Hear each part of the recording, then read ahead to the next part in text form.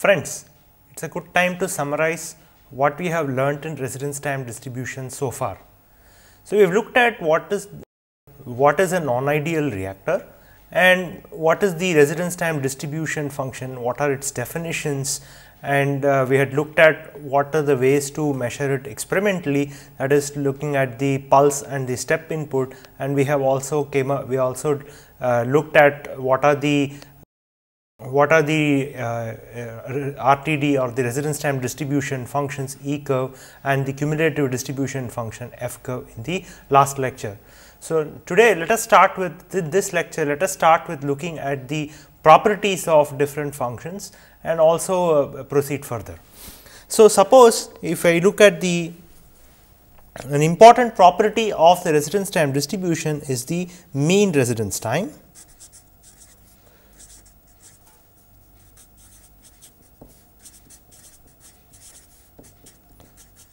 So, the mean residence time is actually given by the first moment so, if I T m is the symbol that I will use for mean residence time, it is actually given by the first moment of the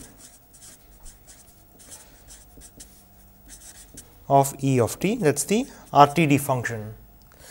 So, E of t is actually a distribution and that distribution can actually be used to uh, decipher some of the properties of the uh, distribution itself and some of the properties of the reactor system. For, for example, mean residence time is an important property that is actually used to control various things in the system. When there is no dispersion across boundaries that is between the point of injection and the entrance of the reactor. Then in these situations the uh, space time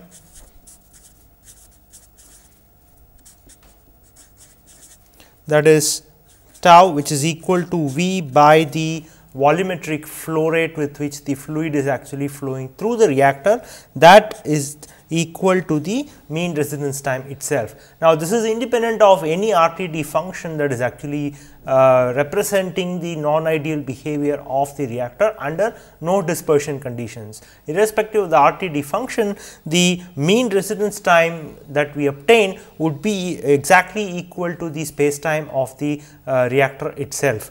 So, this is true true for all RTDs.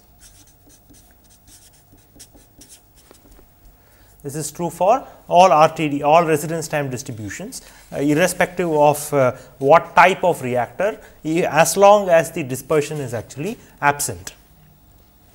So, now let us look at how to calculate the uh, mean residence time from the uh, residence time distribution function E of t. So, T m which is the mean residence time is actually given by the first moment as we observed as I mentioned in the uh, previous note uh, Uh, a few moments ago that is 0 to infinity t into e of t dt divided by integral 0 to infinity e of t dt. So, that is the that is the residence time distribution and because the integral of the E curve which is the RTD function between 0 to infinity that is equal to 1 the this expression can further be simplified as integral between 0 to infinity t into e of t dt. So, that is the that is the expression for the mean residence time if the RTD function E of t is known. So, if the if the residence time distribution function is known one can simply plug it in in this expression and find out what is the mean residence time. Now, suppose let us look at uh, suppose let us consider a reactor. Let us consider a reactor and let us assume that it is filled with species A. It is filled with species A and let us say that at time t equal to 0, a tracer molecule tracer species B is injected into the reactor, let us say it is a dye and then in some time dt. So, let us say that the amount of tracer which is actually leaving the reactor in this time delta t whose age is actually lies between that time is actually given by V times dt, where V is the volumetric flow rate with which the fluid actually leaves the uh, reactor. And that is equal to the volume of the tracer which is actually leaving the that is actually the volume of the uh, effluent stream which is actually leaving the reactor not the tracer. Okay. So, now suppose if we want to know that the species has been there for a long time, suppose see so species A has been in the reactor for a long time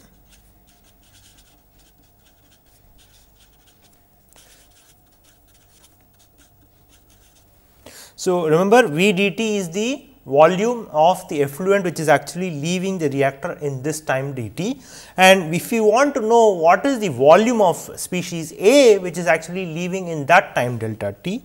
So, then that will be given by dV which is equal to the total volume of the fluid that is actually leaving the reactor multiplied by 1 minus f of t.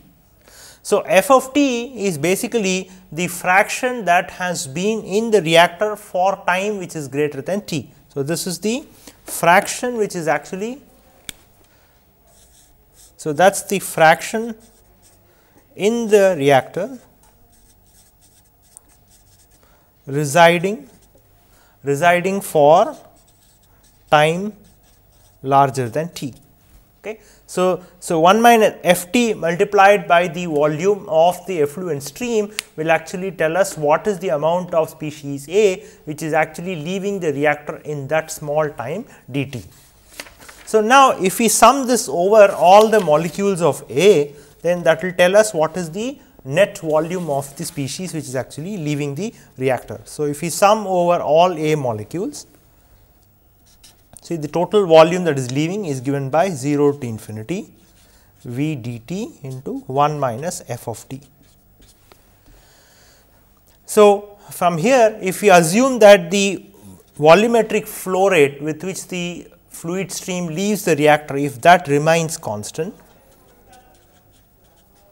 if that remains constant and this is generally not true for gas stream, uh, but it is normally true for liquid streams that is actually leaving the reactor. If it is a gas stream, suppose if it is operated under constant pressure and under isothermal conditions that is constant temperature and if the uh, number of molecules or number of moles does not change because of the reaction, then one may also assume that the uh, volumetric flow rate with which the fluid leaves the reactor, the effluent stream volumetric flow rate is probably perhaps remains constant.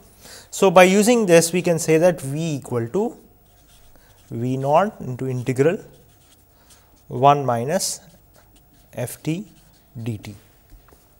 So, now we can integrate this by parts. So, if we integrate we will find that V by V naught that is equal to t into 1 minus f of t limits 0 to infinity plus integral 0 to 1 t df. So, that is the integral. This is basically when we do an integration by parts, we can see that we can split the integral into two sections this is t into 1 minus f t evaluated between 0 and infinity and 0 to 1 t times df. Okay. Now, if I look at the f curve, the f curve typically looks like this. So, this is with respect to time and this is 1. So, at time t equal to 0, f of t is 0 and when t goes to infinity 1 minus f of t is 0. So, that can actually be easily seen from the f t curve or the f curve. So, now substituting these expressions we will find that v by v naught that is equal to tau which is the space time of the reactor and that is 0 to 1 t times df. So, what is df? df is nothing but the residence time distribution itself uh, into dt gives the uh, first differential of the f curve and therefore, v by v naught that is equal to tau and that is equal to integral 0 to 1 t times e of t dt and that is nothing but the mean residence time itself. So, so this shows that for, for any RTD if there is no dispersion between the point of injection and the entrance of the reactor one can show that the mean residence time is actually equal to the space time of the reactor itself irrespective of what is the RTD function E of t. So, so clearly for, uh, for, for, for const for V equal to V naught for constant volumetric flow rate then tau equal to T m if no dispersion. And remember that this V equal to V naught is true for gases only if the reactor is operated under constant pressure drop and the temperature is maintained constant that is isothermal conditions and if the number of moles does not change because of the reaction only under those conditions the uh, effluent stream volumetric flow rate may be assumed as a, a constant. Okay. So, therefore, the exact volume of the reactor exact volume of the reactor if there is no dispersion is actually given by V naught multiplied by the average residence time. So, if the average residence time is known then we can actually calculate what is the exact volume of the reactor in which the fluid in which the uh, in, in which the fluid is actually flowing. So, are there other properties? So, we looked at mean residence time and we also showed that the mean residence time should be equal to the space time irrespective of the RTD function as long as the dispersion is, uh, is negligible or 0 and uh, also if the volumetric flow rate with which the fluid stream leaves remains nearly constant. So, are there other properties and the answer is yes there are other properties. So, the other properties is we can also estimate what is the variance of the distribution and that can be obtained using the second moment obtained using the second moment. So, the sigma square which is the variance is given by 0 to infinity t minus T m square into E of t dt. And so, now if we expand this square term quadratic uh, this product here. So, we can expand this as 0 to infinity t square plus T m square minus 2 into t, t into T m into E of t dt. So, that is the that is the uh, integral and this, this is nothing but 0 to infinity t square E of t dt minus T m square. So, this essentially the variance it essentially quantifies the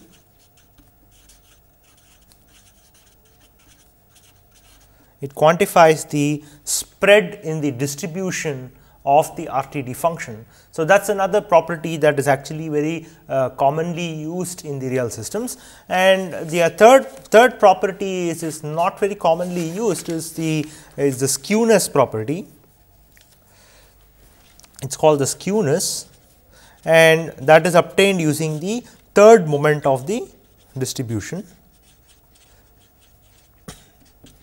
and that is given by if SQS is the skewness parameter that will be 1 by sigma to the power of 3 by 2 where sigma is the standard deviation that is square root of the variance 0 to infinity t minus T m the whole cube into E of t dt.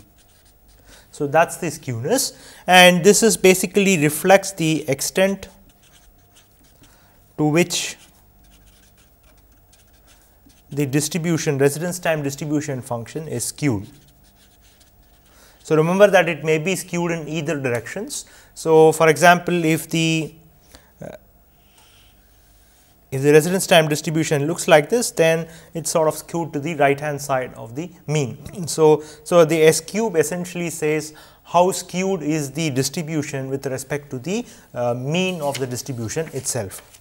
So, now once we know these properties, uh, Next the question is from real reactor data, suppose if there is a tracer that goes inside and from the real data, is it possible to estimate some of these parameters and what are the steps that is involved. Okay. So, let us look at how to calculate the mean residence time and sigma square from the actual data.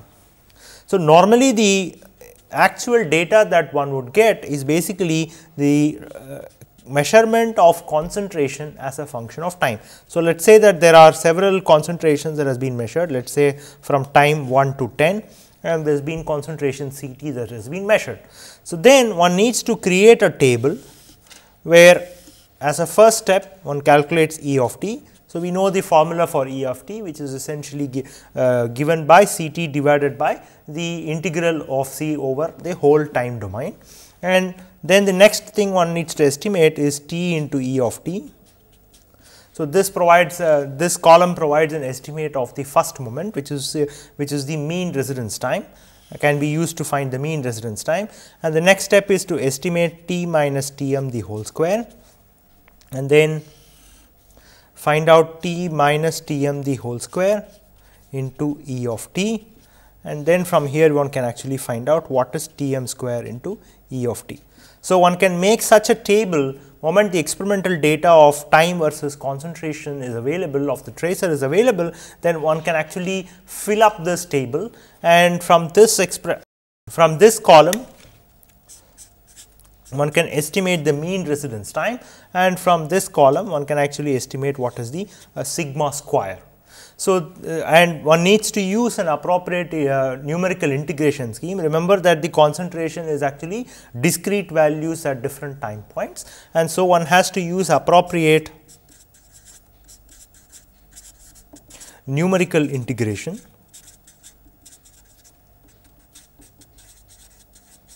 appropriate numerical integration in order to complete this table. Once this table is complete, we will actually be able to estimate what is the mean residence time and the uh, variance for the uh, distribution uh, that represents the RTD function for the reactor.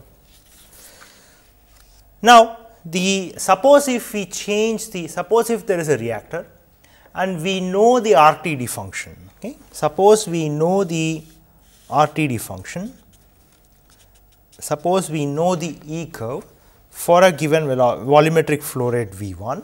Okay. Now, if we want to find out what is the E curve or the RTD function for a different volumetric flow rate. So, now let us consider the situation where we are actually feeding the reactor with a fluid of volumetric flow rate which is less than V 1. Okay. So, then the amount of time that the fluid stream spends inside the reactor is going to be larger because the volumetric flow rate is actually lesser than V 1 and as a result the E curve would actually look like this. The slope of the E curve will correspondingly change.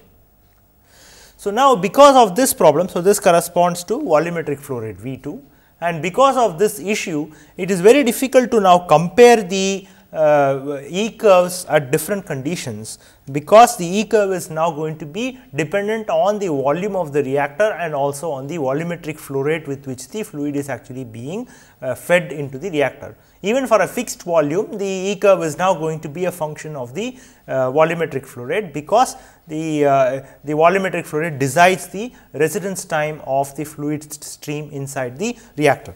So, therefore, the tau 1 which is the space time when the volumetric flow rate is V 1 is given by V by V 1 and tau 2 is given by V by V 2. Okay. So, clearly the amount of time that is spent by the uh, second second in the second case that is when uh, when the fluid is being uh, fed at a volumetric flow rate of V2 that is going to clearly be larger than that of the uh, time that is actually spent by the fluid elements inside the reactor when the volumetric flow rate is V1 uh, because V2 is actually smaller than V1. So, so, so because ET depends on on properties such as volumetric flow rate, it is difficult to compare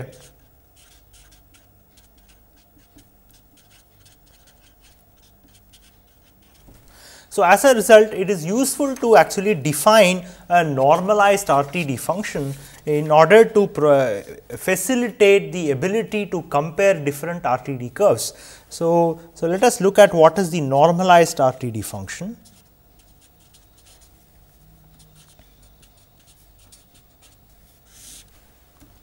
So, suppose if we define theta as the ratio of t divided by tau, where tau is the space time of the uh, reactor. If we de define theta as the ratio of time versus the uh, space time of the reactor, then we can now rewrite the RTD function E theta as basically tau multiplied by E t. So, that tau is the space time multiplied by the corresponding RTD function gives the normalized RTD function E of theta.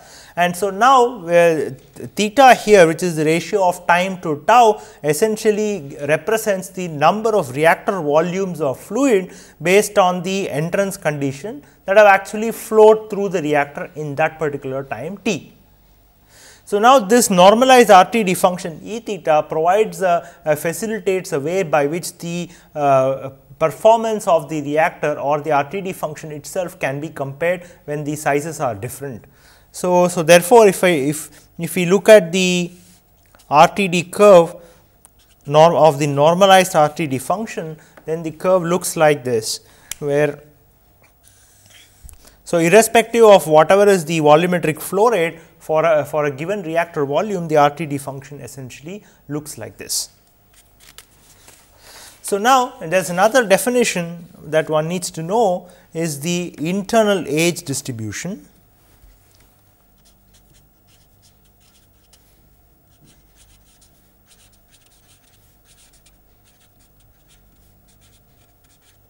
and the symbol that is commonly used is I of alpha, where I of alpha d alpha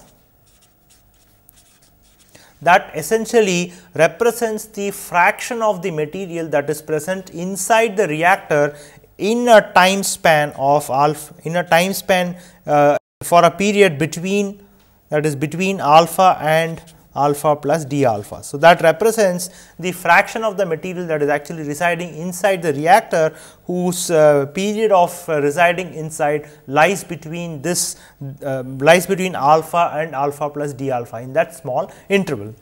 So, E alpha essentially represents the age of the fluid that actually is leaving the reactor and I alpha represents the age of the fluid that is actually present inside the reactor. So, these two have its own utility and particularly the internal uh, uh, the uh, the age of the fluid elements that is actually present inside the reactor has uh, significant importance when one looks at when one wants to study the unsteady state behavior unsteady state behavior of a particular reactor. In particular, a good example of that would be that suppose if there is a catalytic reaction and the catalyst is actually decaying with time, then it is important to know what is the internal age distribution and it is important to actually consider the age distribution in modeling the performance of such kind of a, a reactor. So, I alpha the internal age distribution is essentially given by 1 by tau into 1 minus f of alpha.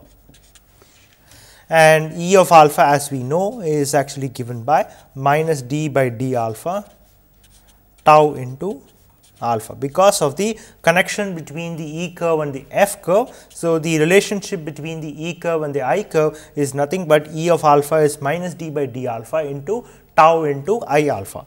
Now, for a CSTR for an ideal CSTR, I alpha is essentially given by 1 by tau into exponential of minus alpha by tau. So, that is the internal age distribution for a, a CSTR.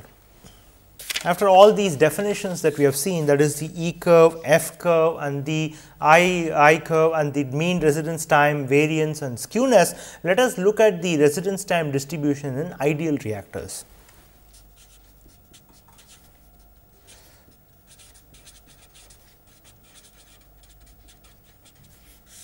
So, particularly we will consider two cases, one is uh, plug flow and ideal batch reactor, plug flow and ideal batch reactor and second one is we will look at the single CSTR case. So, these two we will look at and we will uh, attempt to find out how to get the RTD for RTD curves for these uh, two types of uh, ideal reactors.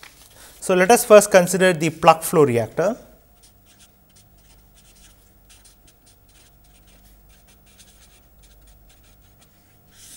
Let us consider the plug flow reactor. So, what is the property of the plug flow reactor?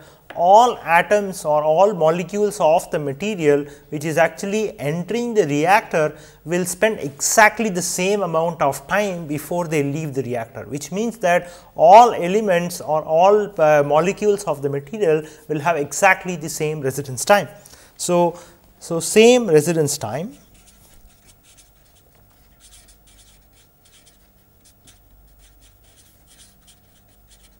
for all fluid elements that is actually entering and leaving the reactor. So, therefore, the RTD function must have the following properties. So, first thing is it must have a spike of infinite height because all of them will have same residence time. Therefore, uh, they will all leave like a, a plug.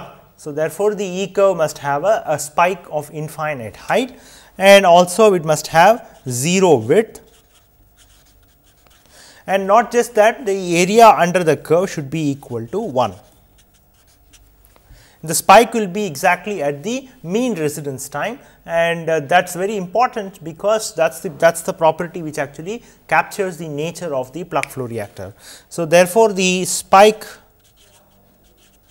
will be exactly at t equal to v by v naught that is equal to tau which is the space time of the reactor and because there is no dispersion the space time of the reactor will also be equal to the mean residence time of the reactor or in the non dimensional terms theta equal to t by tau that is equal to 1.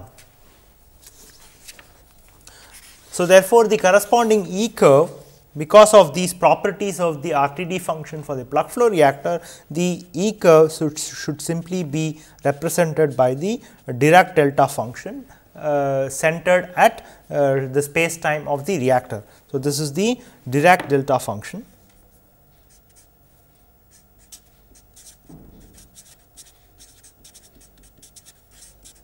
That is the Dirac delta function and it is defined as follows.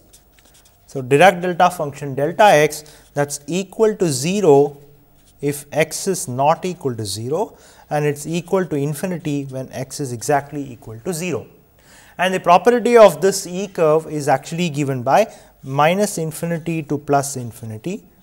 Delta x dx should be equal to 1 that is the property of the Dirac delta function. In addition to that the another important property is by that the it satisfies the convolution integral that is equal to g of tau so, integral of g x if g x is some function of x multiplied by the delta function into d x that is equal to g evaluated at that value of tau itself where x minus tau is actually equal to 0 uh, that is where the spike is actually present. So, now let us calculate the mean residence time for this RTD curve. So, the mean residence time T m is actually given by integral 0 to infinity t into e of t dt that is the uh, that is the definition for the mean uh, residence time in terms of the RTD function. So, that is equal to plugging in the E curve for plug flow reactor we will find that it is 0 to infinity t into delta of t minus tau into dt and that is nothing but tau itself.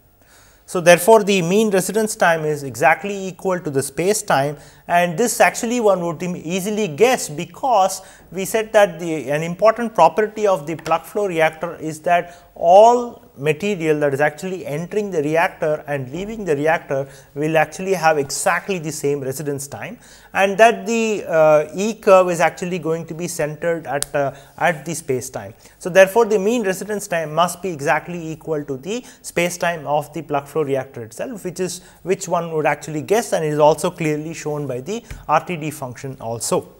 So, now let us look at the second moment that is the variance of the Uh, of the distribution. So, that is given by 0 to infinity t minus t m the whole square into e of t into dt.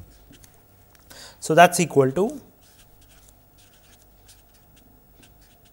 t m square into delta function into dt and so, now we open up this uh, the t minus t m whole square and then one if one integrates we will find that this essentially reduces to reduces to t square into delta of t minus tau into dt 0 to infinity plus integral 0 to infinity T m square delta of x minus x minus tau dt minus 2 integral t into T m into delta of x minus tau dt and that is essentially. So, the first term here because of the property of the delta function is it will simply be equal to tau square and the second property will simply be equal to uh, plus T m square. So, that will be the second one and the third one will simply be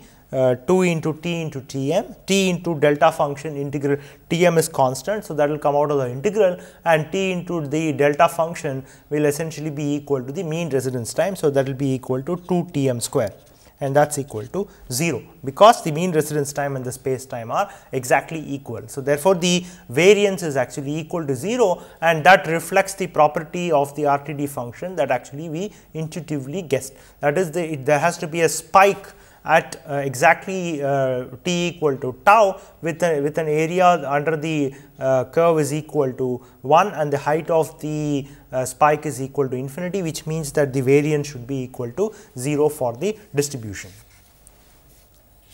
So, let us look at the F curve for the uh, plug flow reactor. So, for a plug flow reactor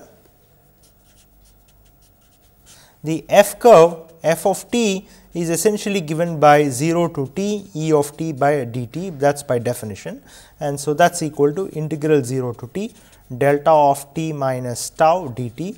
That is equal to 1 by, by we know that this integral is equal to 1 and therefore, the f of t curve is nothing but 1 and so as a result the as a result, so the, the properties or the RTD function for the plug flow reactor is essentially given by E of t to summarize is equal to delta function of t minus tau. So, that is the summary for plug flow reactor summary for plug flow reactor where the residence time distribution function is essentially given by delta t minus tau and the mean residence time is equal to the space time of the reactor which is the volume divided by the volumetric flow rate and the sigma square is essentially 0 the the variance is actually 0 and the ft is essentially equal to 1 so therefore if we actually attempt to uh, sketch the E curve and the F curve, we will find that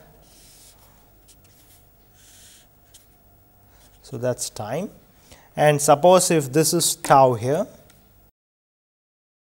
at t equal to 0 if there is a spike uh, tracer that is actually put into the plug flow reactor. So, if that is the spike then exactly after a delay of tau time which is the space time of the plug flow reactor the tracer will actually come out and the same amount same quantity of tracer will actually come out of the reactor. So, that is the outstream and the height will be infinity. Okay. Now, suppose if I look at the F curve, so this is the E curve and suppose if I look at the F curve of the reactor,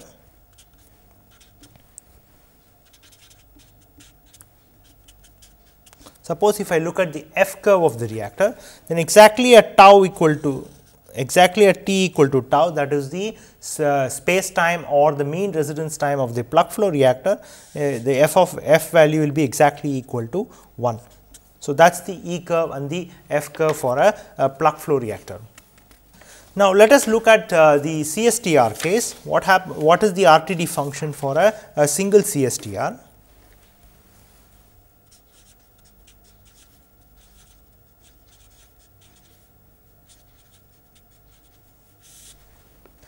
Now, suppose if here is a CSTR and there is some this is the inlet stream and this is the outlet stream of the CSTR and it, the CSTR is well mixed and it is assumed that it is an ideal CSTR and therefore, the it is a completely well mixed system. And let us now uh, uh, because it is completely well mixed system the concentration of the species which inside the reactor should be equal to the concentration of the species in the effluent stream as well. So, which means that the outlet concentration is equal to the concentration of the species in the reactor. And let us now write a material balance on an inert tracer. Suppose there is an inert tracer which is actually fed into the reactor. So, let us say that the, an inert tracer is fed into the reactor and if the concentration of the inert tracer is actually C naught at t equal to 0. So, at time t equal to 0 some t naught C naught quantity of tracer is actually fed into the reactor and now we can write a material balance in order to find out what is the RTD function. So, for any time greater than 0 whatever fluid is actually whatever tracer is entering the reactor that should minus whatever is actually leaving that should be equal to the accumulation of the tracer inside the reactor. Now, if you assume that it is a pulse tracer, if it is actually a pulse tracer which means that the time at which the tracer is actually fed into the CST is exactly t equal to 0 and nothing before and nothing after t equal to 0. So, therefore, at uh, any time greater than 0 uh, no tracer is actually entering the reactor. So, therefore, the inlet is 0 minus what leaves is the volumetric flow rate V of the effluent stream multiplied by the concentration of the tracer C and that should be equal to V into dC by dt which is the accumulation of the tracer in the CSTR. Now, because the concentration of the species inside the reactor is equal to the concentration at which the species is actually leaving the reactor, the C here essentially represents the outlet concentration of the uh, species from the reactor. Uh, reflects the concentration of the species uh, with which it actually leaves the reactor in the effluent stream. So, now one can actually integrate this expression to find out that C of t is equal to C naught into exponential of minus t by tau, where t C naught is the initial tracer concentration, initial pulse tracer concentration of the initial tracer that is actually fed as a, a pulse tracer. And from this we can find out that E of t is given by C t divided by integral 0 to infinity C of t dt. So, now uh, we know the expression for C t, the dependence of C on uh, time and other properties. So, we can plug that in here, we will see that it is exponential of minus t by tau divided by integral 0 to infinity minus t by tau.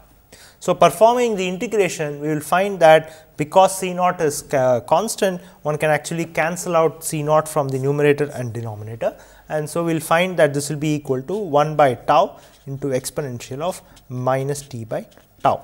So, that will be the uh, residence time distribution function for a, a single CSTR. Now, in terms of the uh, dimensionless, in, in, terms of the normalized RTD function, E of theta is essentially given by exponential of minus theta, where theta is actually t by tau. And E of theta is nothing but tau into E of t. So, that is the uh, uh, normalized residence time distribution function and now we can actually find out what is the f curve. So, f of theta is nothing but integral 0 to theta e theta into d theta that is actually 1 minus exponential of minus theta. So, that is the uh, f curve that is the expression for x f curve which is 1 minus exponential of minus theta where theta is t by tau and tau is the space time of the reactor where tau is nothing but v by v naught that is the space time of the reactor. So, let us attempt to sketch the uh, E curve and the F curve. So, the E curve, so the normalized RTD function, so the E curve essentially looks like this it is an exponential decay and then uh, the corresponding f curve is actually looks like this. So, this is 1 and this is theta. So, it actually essentially looks like this and so the mean mean can actually be estimated as T m that is equal to integral 0 to infinity. These are different properties of the distribution T into E of t dt that should be equal to integral 0 to infinity t by tau into exponential of minus t by tau and that should be equal to tau.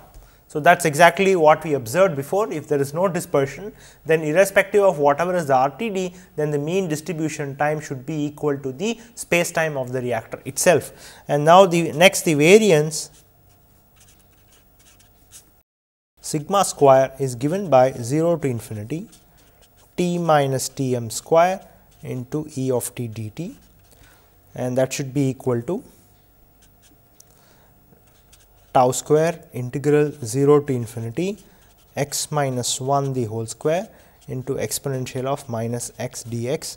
So, where the change of variable is done by by setting x equal to t by alpha and so in integrating this is a standard expression. So, while integrating this expression one can find that that is equal to tau square which means that the standard deviation of the distribution is actually equal to the space time of the reactor itself. So, for a, a single CSTR For a single CSTR, the mean residence time is equal to the space time of the reactor and the standard deviation of the residence time function is also equal to the mean residence time of the reactor itself. So, now if we compare the various uh, the compare the RTD function and the various properties of CSTR, we can find that. So, suppose if we make a comparison, we can summarize the function and the properties that we have found so far for a plug flow reactor and a CSTR. So, the residence time distribution function E of t is essentially the delta function for a plug flow reactor, which means that uh, there is just a delay and whatever is fed into the reactor is going to come out of the reactor exactly after a, a certain delay and the delay is given by the space time of the reactor and here delta x is actually defined as 0 for x not equal to 0 and infinity for x equal to 0.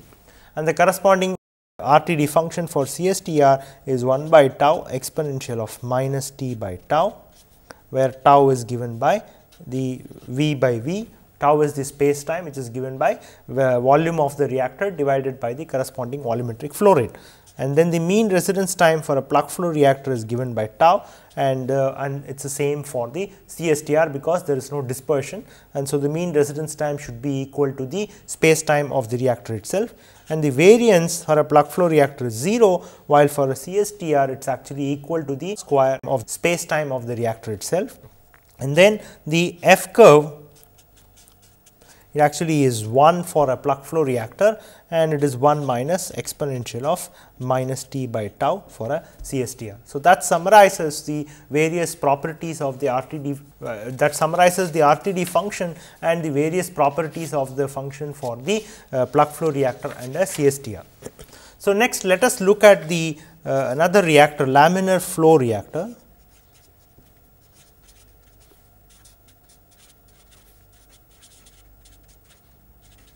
Let us try to estimate the RTD function for the laminar flow reactor LFR will be referred to as LFR hereafter. So, suppose if there is a tank and there is a fluid stream which is actually entering at 0 and leaving at L. So, that is the length of the uh, reactor that is the that is L and the fluid is actually entering under laminar conditions and it is expected that there will be a, a parabolic velocity profile.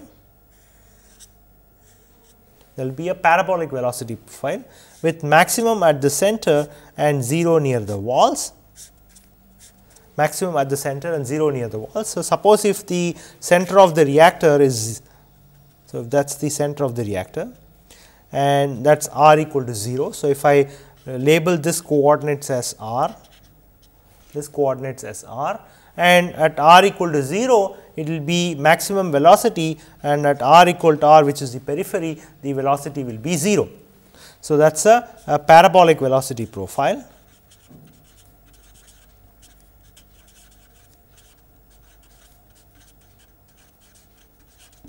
that is the parabolic velocity with which the velocity profile with which the fluid is actually flowing through the reactor. Now, clearly this suggests that the fluid particles which are actually fluid elements which are actually at the center, they will actually have the shortest residence time because they have the maximum velocity and so they will leave the reactor much faster than the they will leave the reactor faster than the other fluid elements which are actually present in other radial locations other than 0. So, now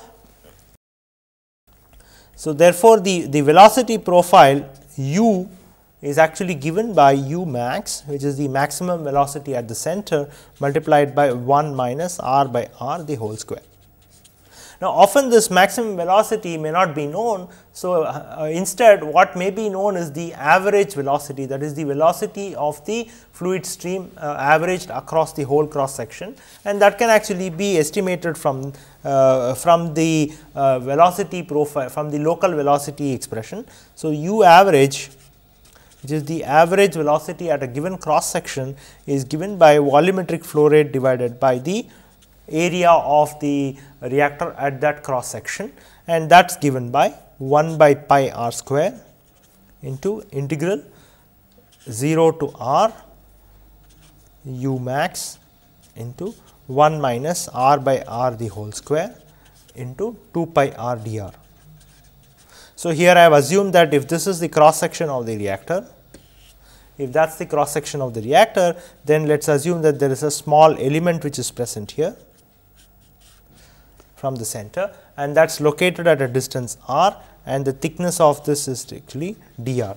So, therefore, the volumetric flow rate of the fluid and in at any cross section is given by the local velocity multiplied by 2 pi r dr into uh, integrated over the whole uh, integrated between 0 and r. So, that gives the volumetric flow rate at that cross section and pi r square is the corresponding area at that cross section.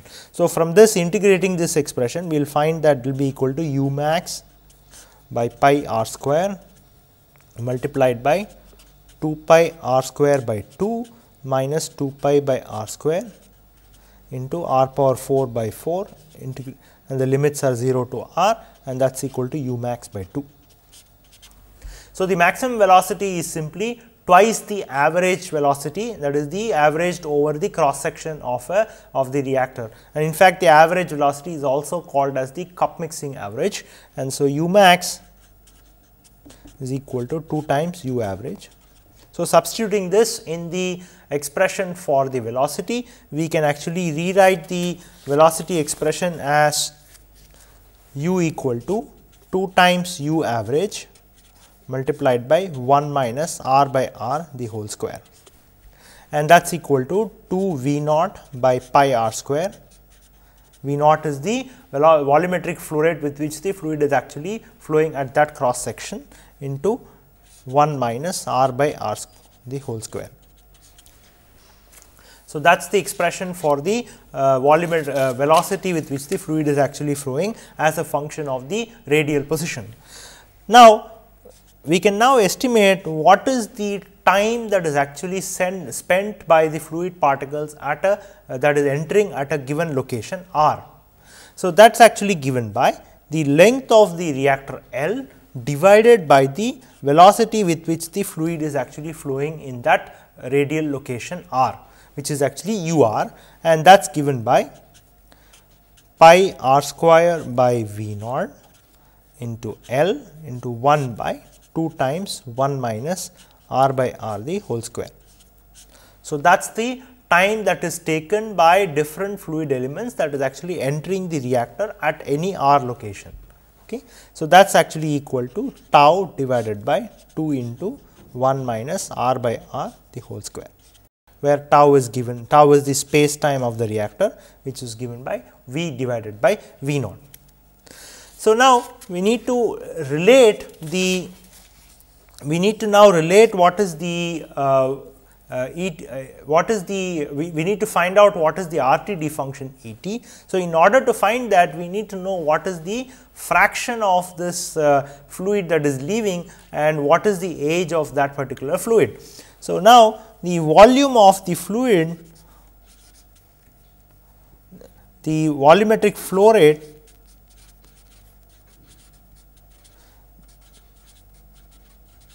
between R and R plus dr so, that is the volumetric flow rate of the fluid which is actually flowing between R and uh, R plus dr and that is given by dV that is equal to u r into 2 pi r dr. So, that is the volumetric flow rate of the fluid which is actually flowing in this uh, element dr that is between r and r plus dr. So, now the fraction of the total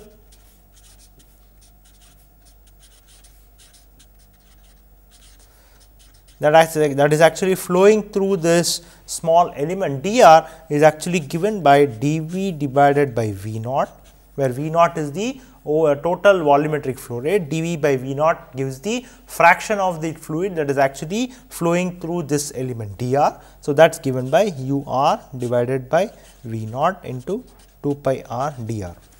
So, that is the uh, that is the fraction of the fluid that is actually flowing through this element dr and uh, in fact, that is that is nothing but the E of t into dt, because the fraction of the fluid that is actually flowing through the this small element dr and also the uh, fluid which is actually between V and dV which is spending the time t and t plus delta t is what is given by this RTD function E of t dt and that should be equal to dV by V naught which is actually the fluid which is flowing between V and V plus dV whose residence time is actually between t and t plus delta t.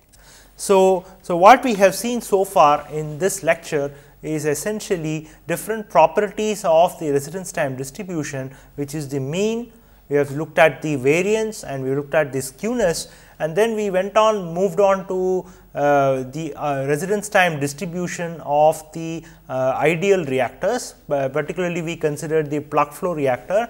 And then we found out what is the residence time distribution for this particular reactor and what are the properties of the residence time distribution. And in specifically we uh, found out what is the E curve and the uh, F curve as related to the time uh, as a function of time and next we looked at the uh, residence time distribution function for a, a single CSTR. We found the E curve and the F curve and the corresponding properties and then initiated discussion on the laminar flow reactor. Thank you.